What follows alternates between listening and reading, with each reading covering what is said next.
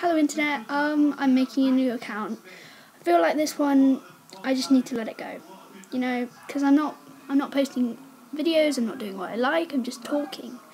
And I feel like you guys don't exactly like it. So what I'm going to do is I've created a new account. It is called The Art Artistic People.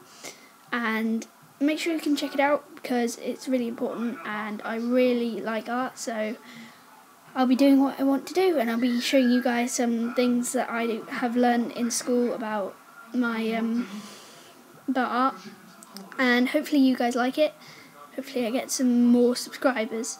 And yeah thank you for a being supporting supporting me on this channel.